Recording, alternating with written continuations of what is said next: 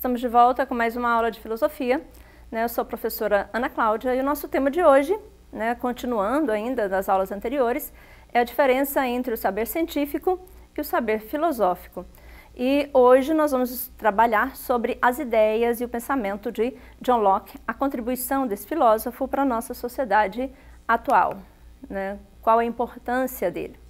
Então, ele nasceu em agosto de 1632, né, na Inglaterra, e claro que a, qual a importância né, e o fato dele ter nascido na Inglaterra? O contexto histórico né, que a Inglaterra vivenciava nessa época, as revoluções a, burguesas, no caso a Revolução Puritana e a Revolução Gloriosa, né, que vai facilitar o acesso da burguesia e ao poder. Ele foi filósofo, claro, estudou também medicina e ciências naturais. Tá? Nessa também estudou grego e lecionou também grego, filosofia e também retórica. Então essas são as contribuições dele. Ah, aliás, desculpa. Né, esse é uma da, das formações e o que ele fez em toda a sua vida. Além disso, ele vai contribuir bastante né, para o desenvolvimento do pensamento iluminista. Claro que o pensamento iluminista ele acontece somente no século XVIII. No entanto, né, as contribuições começam um pouco antes. Nós sabemos que, historicamente, nada é construído do dia para a noite. As coisas elas levam tempo para amadurecer.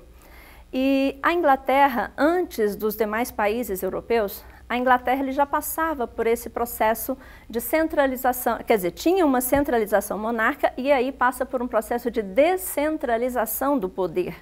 Né? E dessa forma, John Locke ele vai poder desenvolver as suas ideias com base nessas duas revoluções, a Revolução Puritana e posteriormente Revolução Gloriosa, né? que são revoluções que vai fazer o quê? Retira esse poder absoluto que estava nas mãos do rei e passa né, grande parte desse poder para o parlamento. Então, dessa forma, o rei ele vai governar, mas os poderes dele serão limitados. Né, naquela época, por, por uma carta que limitava o poder, que hoje nós chamamos de Constituição. Tá? Então, ele contribui bastante é, com o liberalismo econômico, inclusive com o liberalismo, perdão, né, ele contribui com o liberalismo e o que é liberalismo? A ideia de liberdade, liberdade política, tá? E ele também vai contribuir bastante com relação à teoria do conhecimento. Na teoria do conhecimento, uma das, suas, das principais contribuições foi em relação ao empirismo, tá? E o que seria então o empirismo?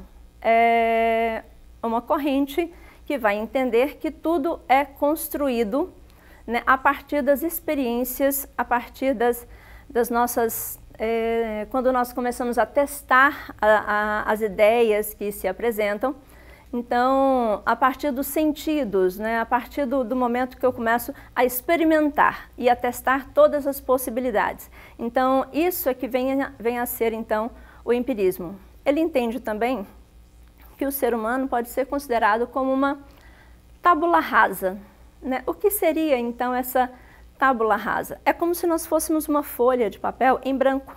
E a partir do momento que nós nascemos, né, é que todo conhecimento ele começa a existir, ou seja, vem a partir dos sentidos, né, e claro, depois o conhecimento científico é, segue um pensamento lógico, e aí nós chegamos então a, a um conhecimento mais profundo, mas inicialmente ele entende que esse ser humano, né, que nós, ah, quando nascemos, não temos nenhum conhecimento e tudo é produzido a partir das nossas experiências. Ah, por outro lado, é, com relação à questão política, ele entende que todos nós nascemos bons, então nesse momento aí ele vai contra as ideias de Hobbes, porque fala que Hobbes menciona que o homem ele é mau, por natureza, né? ou seja, no seu estado de natureza, o homem é, estaria em constante estado de guerra. É, John Locke não concorda com isso, ele acha que o homem ele nasce é, bom, tá? ele busca sempre uma igualdade e busca sempre uma independência. Ah, essa independência no sentido de ser livre. ele também é um contratualista, mas ele entende esse contrato de uma forma diferente. E ele entende também que a sociedade é responsável pela formação do indivíduo. Como assim? A sociedade, ela já tem ali a sua experiência, ela já tem as suas normas, as suas regras todas construídas. E nesse sentido ela vai a contribuir para que os indivíduos né, é, continuem seguindo é, toda essa, todas essas ideias aí.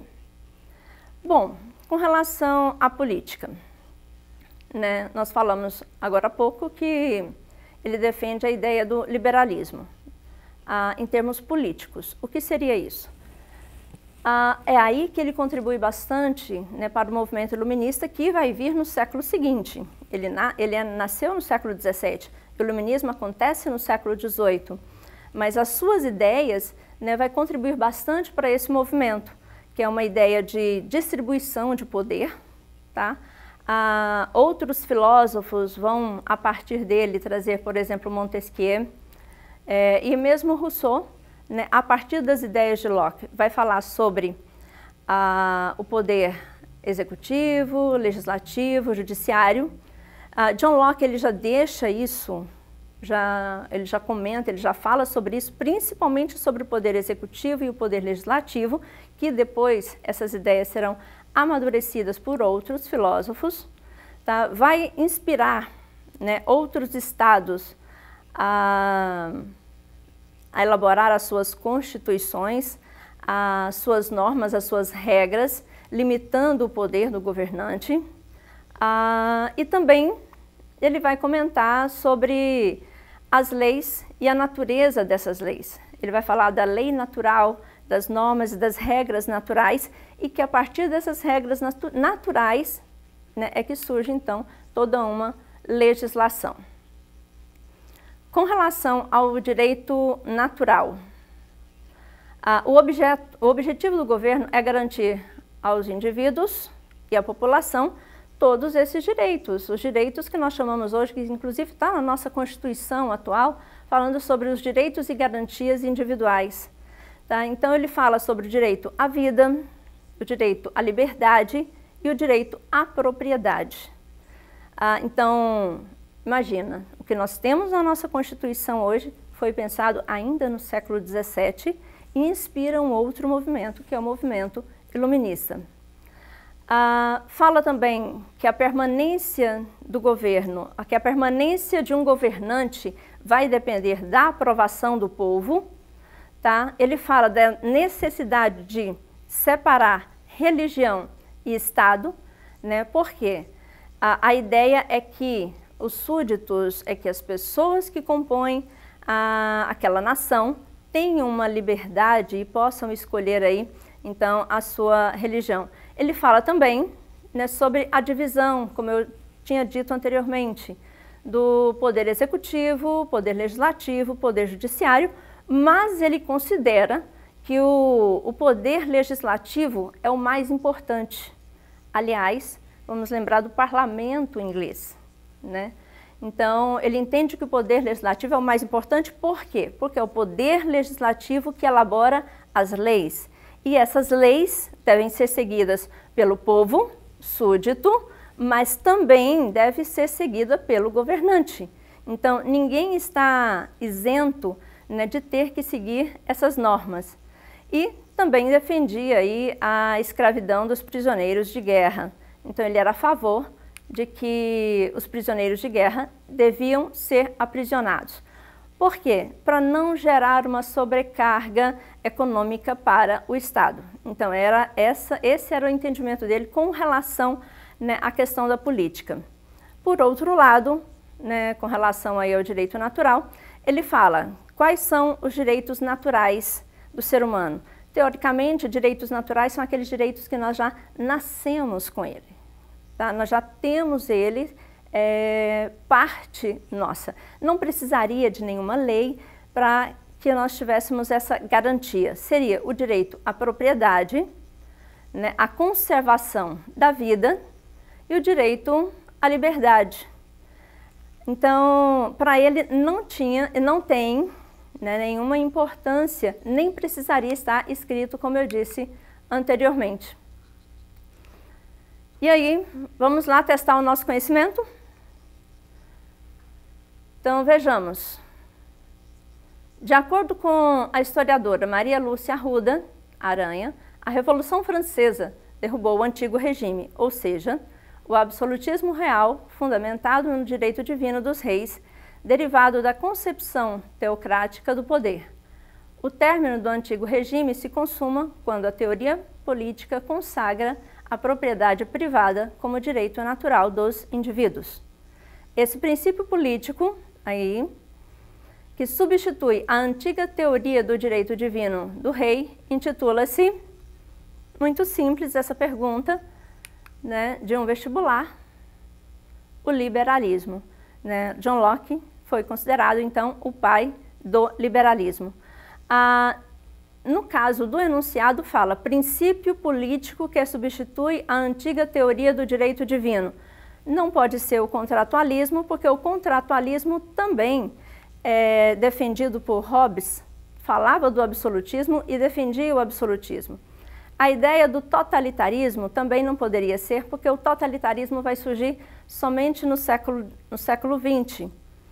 Ah, o absolutismo monárquico não é a corrente defendida por ele, e marxismo também é uma corrente que surge somente no século XIX. O absolutismo surge no século XVI, né? um pouco antes, muitos reis já queriam centralizar, mas a centralização mesmo se dá aí a partir do século XVI. Vamos, mais uma? Vamos lá. Dali, no período moderno, emergiu uma escola filosófica que pôs em questão as concepções inatistas e metafísicas de conhecimento. Para os filósofos partidários dessa escola, o conhecimento é sempre decorrente da experiência, jamais podendo existir ideias inatas.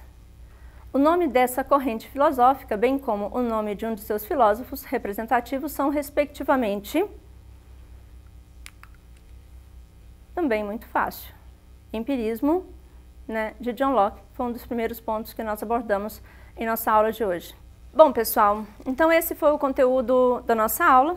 Falamos aí um pouquinho sobre John Locke e outros exercícios vocês vão encontrar na plataforma é, Eduque.